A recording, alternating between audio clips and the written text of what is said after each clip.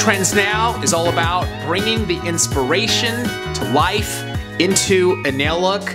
Today, our color is pink. Pink is a super interesting color, obviously because it's a blend of red, that super passionate color, and also white, which is that nice, peaceful, calming color. Today, Tracey and I get into a little bit of discussion of the direction of pink that we want to go because there's many different shades of pink that are kind of brought forth to us.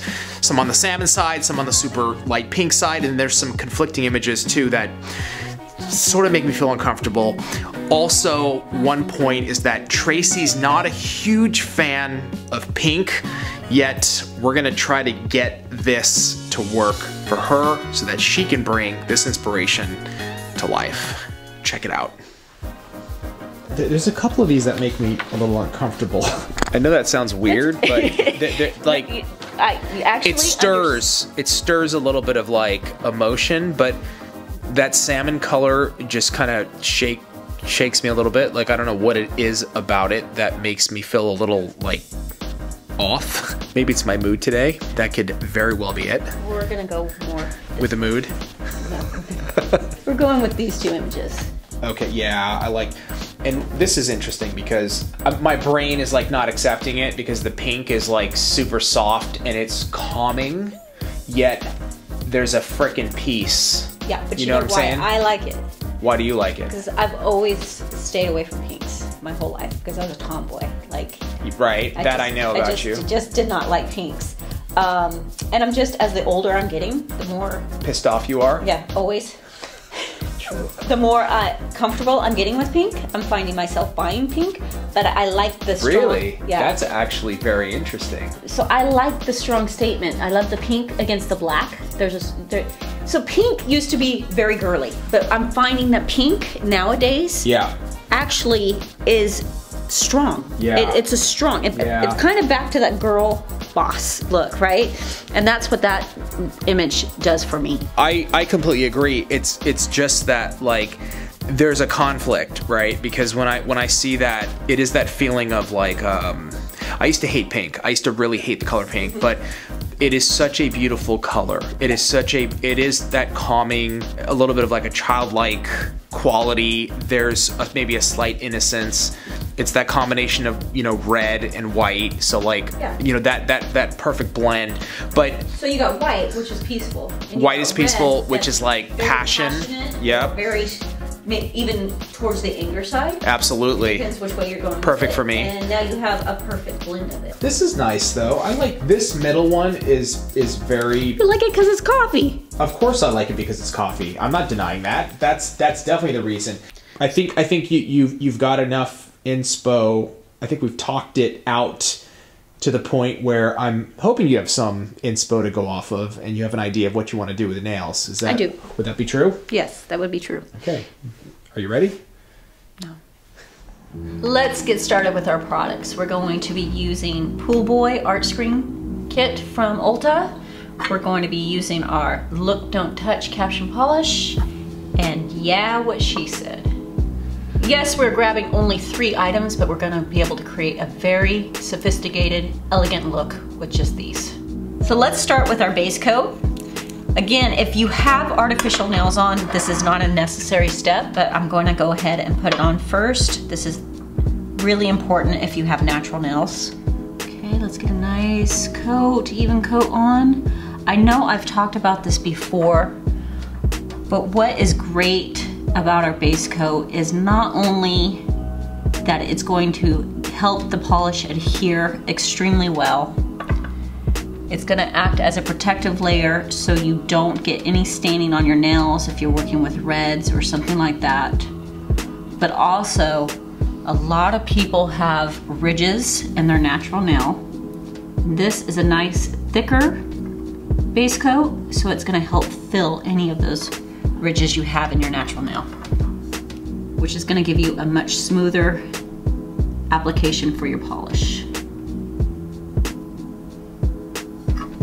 Okay, let's get our color on. Okay, we're gonna get one coat of Yeah What She Said on all five nails.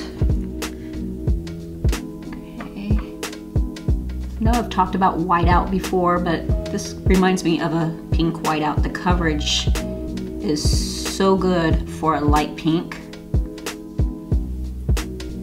And with that rounded brush, it just really helps you get right next to the cuticle. Makes application so much easier.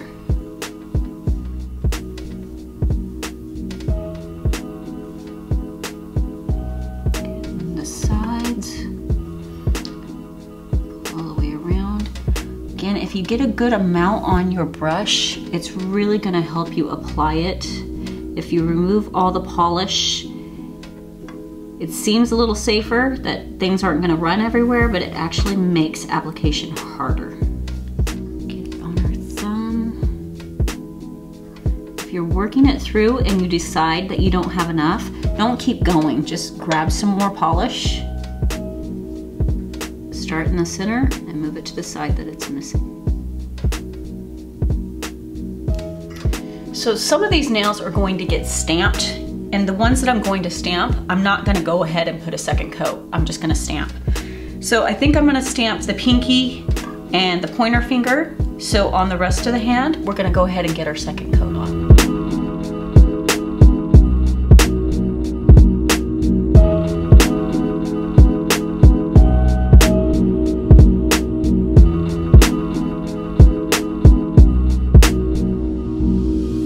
Okay, now that we've gotten the second coat on the nails that needed it, we're gonna go ahead and move into doing our stamping on the two other fingers, and then we'll move into our lunar eclipse last.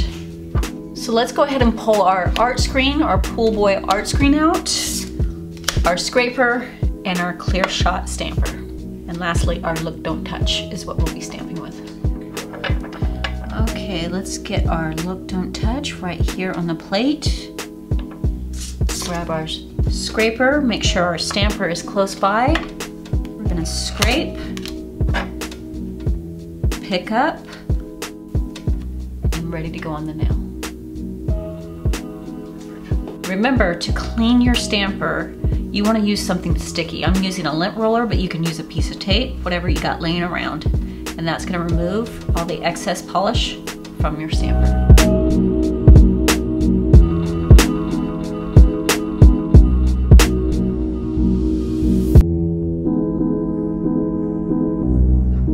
Using that same look don't touch that we used for our stamping we're going to do a lunar eclipse design on this one. I find it helpful to actually point the finger towards me.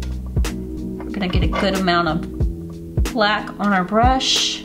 Okay and once we have it we're going to come out right about here from the cuticle area and we're just going to brush down. That round brush is going to be really helpful in creating this design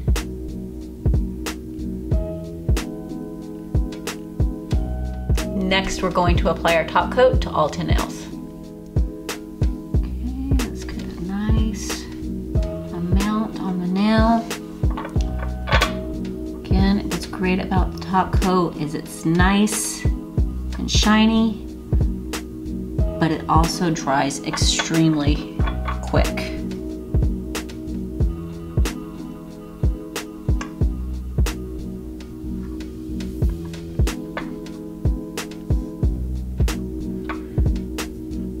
Ever want to, if you have your natural nails and you want to help strengthen them, put a nice base coat down, your color, and then top coat them every other day for like a week straight. You keep that up and it will help strengthen your natural nails. Gives it a protective layer. Let's go ahead and clean up the polish we got on our skin when we stamped